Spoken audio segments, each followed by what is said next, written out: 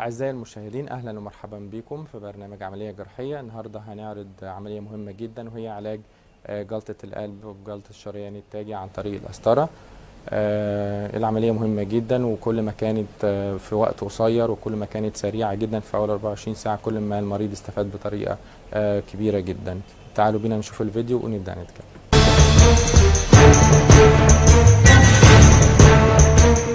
النهارده إن شاء الله هنتكلم عن آه، علاج الجلطة الحادة في شرايين القلب باستخدام القسطره قبل ما نبدأ نشرح عملية قسطره القلب إحنا عايزين نعرف بس إيه العوامل اللي تؤدي إلى آه، جلطة في الشريان التاجي أو الشريان المغذي لعضلات القلب. الشريان التاجي ده هو الشريان اللي بيغذي آه، عضلة القلب هو عبارة عن ثلاث شرايين رئيسية. الشريان الأيسر اللي يتفرع لشريان دائري وشريان أمامي نازل والجهة اليمنى عن طريق الشريان الايمن آه، بيحصل جلطة دي نتيجة زي ما قلنا قبل كده نتيجة عوامل كتير منها التدخين ومنها الضغط العالي السكر. لو في أمراض كتير بتحصل آه، بتؤدي لكسور شرايين القلب. لما يحصل كسور أو ضيق في الشريان ده بيبقى عرضة إن سريان الدم فيه يكون أقل شوية وفي نفس الوقت آه، عرضة إن ال- الدم يحصل فيه تخثر أو تجلط. بيحصل آه، في الشريان آه، جلطات نتيجة العوامل اللي قلنا عليها دي وده منظر الجلطة اللي بتبقى موجودة. آه، الجلطة دي عبارة عن جزء من من كرات الدم بتجمع مع الصفائح الدموية والفايبرين بيسد الجزء اللي فيه كسور أو ضيق آه، في الشريان طيب بنعالج الموضوع ده إزاي؟ زي ما قلنا قبل كده القسطرة عبارة عن آه، قسطرة أنبوبية وبيتم دخولها عن طريق سلك مرشد وبيصور الشرايين يمين وشمال. آه، الشريان اللي بيبقى فيه دي بيتم فيه دخول سلك مرشد أكثر دقة زي ما إحنا قلنا كده. ده السلك المرشد. ده بي بيعدي الجزء اللي فيه جلطة بحيث إن إحنا نقدر ندخل الأدوات اللي موجودة فيه آه، علشان آه، تتخلص من الجلطة دي. بعد ما بنعدي السلك المرشد الدقيق اللي موجود آه، في كذا نوع بنبدأ نتعامل معاه. أول شيء زي ما حضراتكم شايفين دي عبارة عن بالونة. بالونة ديت آه، طولها بيكون على حسب الشريان سواء كان سنتي أو 2 سنتي أو أكتر. وفي نفس الوقت عرضها أو قطرها آه، بنحسبه على آه، قد قطر الشريان اللي موجود. آه، في كذا طريقة بنعالج بيها الجلطة زي ما حضراتكم شايفين. أول حاجة البالونة دي زي ما قلنا بيتم ببساطة إن هي بت- بتتفتح في الجزء اللي فيه وبت- وبتوسع الجلطة دي بحيث إنها تبقى لازقة في الجدار الشريان. بعد ما البالونة ديت بتتنفخ زي ما حضراتكم شايفين بيبدأ سريان الدم بصورة شبه طبيعية ودي أحد الطرق اللي إحنا بنعالج بيها آه، انسداد الشريان. في الحالات دي بيحصل آه، دلالات عندنا إن في جلطات زي رسم القلب زي موجات صوتية زي آه، انزيمات وتحاليل القلب بيبقى فيها ارتفاع في التحاليل وارتفاع في نتائج التحاليل عالي يقول لنا إن في دامج أو في عطب موجود أو جلطة موجودة في جزء ده من القلب. بصراحة موضوع التوسيع بالبالون آه، له مزايا كتير إنه بيفتح الشريان وخصوصا إنه لو كان الموضوع ده المريض جه في أول 24 ساعة وكل ما كان المريض جاي في وقت قريب جدا بعد حدوث الجلطة كل ما كان نتائج من آه، توسيع الشريان أفضل بكتير عن ما عن بعد كده.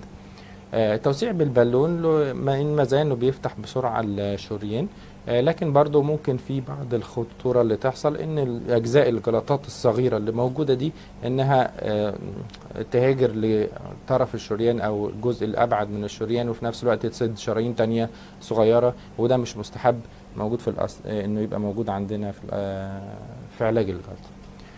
آه، بعد ما بنوسع ببالونة بيتم آه، دخول دعامة الدعامة دي لما بتدخل هي زي ما حضراتكم شايفين الجزء الشبكي اللي موجود ده. آه، بنقدر نحط دعامة أو دعامتين على حسب طول الجزء أو العطب الموجود. هنا مثلا دعامتين كل دعامة بتتنفخ آه، ببالونة بحيث إنها تمنع إن رجوع جزء من الشريان اللي كان فيه ضيق تاني إنه آه، يحصل مرة أخرى. زي ما حضراتكم شايفين الدعامة الجزء الشبكي كده دعامتين موجودين واحدة منفوخة في أول جزء من الجلطة والتانية منفوخة في الجزء التاني وبيتم نفخهم عن طريق البالونات اللي موجودة فيهم. الدعامات اللي موجودة آه، في نوعين من الدعامات. الدعامات العادية اللي هي معدنية وجزء شبكي معدني آه، بير خالص. بيحصل إن هو بيتنفخ عن طريق البالونة زي ما حضراتكم شايفين. ويمنع إن الريكويل مرة أخرى أو ويمنع إن الجزء اللي كان فيه دي إنه يتكون مرة أخرى. لكن آه، ده هو جزء قديم شوية أو نوع قديم شوية من الدعامات. آه، لقوا لما اتعمل دراسات لقوا نسبة الانسداد فيه بتكون أعلى شوية. آه، والأنسجة اللي بتكون ضيق في الشرايين بتكون نسبتها عالية إنها ترجع مرة أخرى. فزي ما حضراتكم شايفين أدي الجزء بتاع الشريان بعد ما فتحنا. بقى الصورة بتاعته تحت الأشعة السينية تقريبا طبيعية تمام. وده الجزء الشبكي بتاع الدعامات العادية اللي عمل له آه، فتح وبالتالي بقى آه، أفضل بكتير من اللي قبل كده.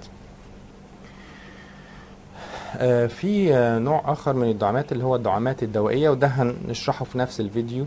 آه، باستفاضة أكتر دلوقتي. لكن نحب قبل ما نتكلم عنه نتكلم عن باقي التكنيكس آم، الطرق اللي إحنا بنعالج بيها الجلطة آه، اللي موجودة. آه، تاني طريقة طريقة كويسة جدا برضو إن إحنا برضو بعد دخول السلك المرشد بيتم إدخال جهاز اسمه جهاز سحب الجلطات أو شفط الجلطات. في منه أنواع كتيرة.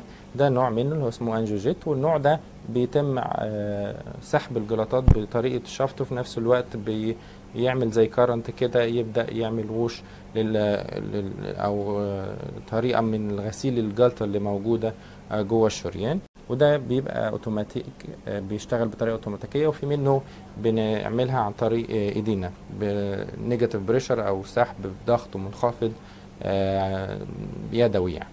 هو الميزة بتاعته إن مفيش جلطات بتبقى موجودة في آخر الشريان في نفس الوقت بيتم سحب الجلطات دي بعيد فبالتالي مفيش فرصة إلى حد كبير إنها تنتشر وتبقى موجودة في أي مكان تاني. بعد ما بنعامل الجلطة بسحب الجلطات زي ما حضراتكم شايفين بنحط الدعامة آه، اللي موجودة وبالتالي الجزء اللي كان فيه دي أو كسور يبدأ إنه يتفتح تاني ويبقى الشريان أفضل آه، بكتير ويرجع لليمن أو الحجم بتاعه الطبيعي. آه، بعد ما بنتم سحب الجلطات بنحط الدعامة. آه، الدعامة دي زي ما حضراتكم شايفين هي مختلفة عن الدعامة العادية اللي هي كانت شبكة معدنية آه، فقط. بالتالي هنا بقى الدعامات الدوائية الجديدة عبارة عن آه، شبكة آه، معدنية وفيها جزء من الأدوية اللي هي drug eluting stent ديت فيها دواء أو علاج زي ما حضراتكم شايفين بيتم إفرازه على فترات شهور من الدعامة تلقائيا. هي مصممة بطريقة النانو تكنولوجي بحيث إن هي تفرز الأدوية ديت على فترات إنها تفضل آه، تخلي الشريان مفتوح دايما. والأدوية اللي موجودة دي عبارة عن أدوية تمنع إن الجزء اللي كان فيه كسور أو الأنسجة المتكونة نتيجة الكسور إنها تتراكم مرة أخرى.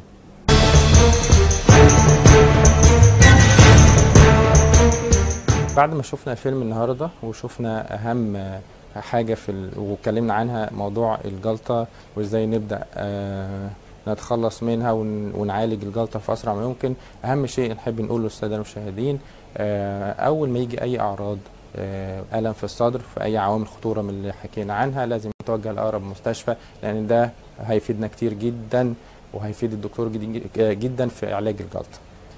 يا رب تكونوا استفدتوا النهارده وإن شاء الله نقابلكم في